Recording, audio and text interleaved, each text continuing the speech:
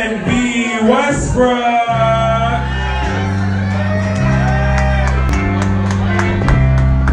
like a French hooker right here. Anybody French?